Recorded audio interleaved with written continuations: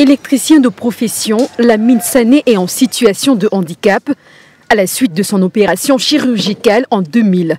Depuis, il n'arrive pas à trouver du travail. J'ai parlé de mon cas. Ah, ils me font espérer, mais en me fixant aussi des rendez-vous.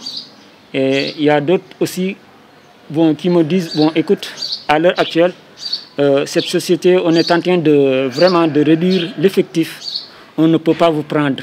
Cette dame est titulaire d'un master en administration et gestion de l'éducation spécialisée. La professionnelle a traversé beaucoup d'obstacles avant de trouver son emploi actuel.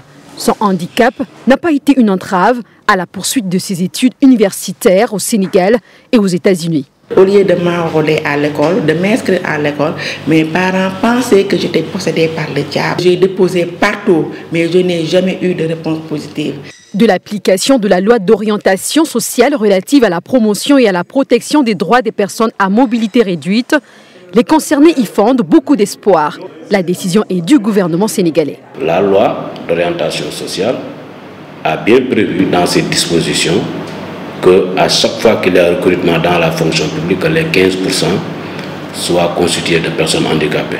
Donc si aujourd'hui le président de la République prend cette décision-là, on ne peut que s'en réjouir, euh, l'en remercier aussi, parce qu'il a indiqué en Conseil des ministres que ce recrutement-là se fasse suivant les principes directeurs de la loi d'orientation sociale. Maintenant, pensons que si on fait l'effort de recruter dans la fonction publique des personnes handicapées diplômées, cela va encourager les autres qui ne le sont pas encore. Selon le président des associations des personnes vivant avec un handicap, l'intégration de ses camarades diplômés dans la fonction publique et parapublique pourrait réduire la mendicité au Sénégal.